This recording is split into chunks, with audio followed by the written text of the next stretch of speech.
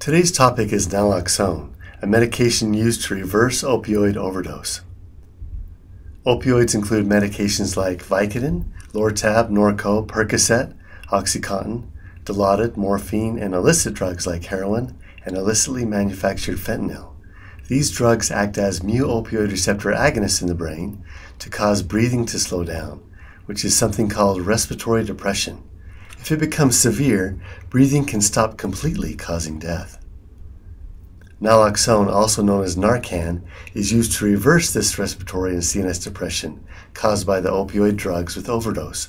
As of 2023, naloxone may be dispensed without a prescription as an over the counter nasal spray at drugstores, convenience stores, grocery stores, gas stations, and online.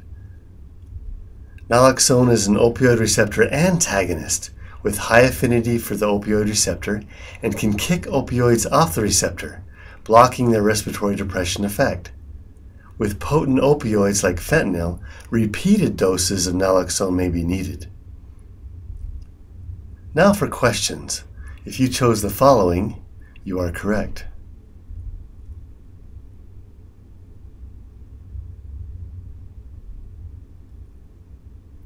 Thanks for watching.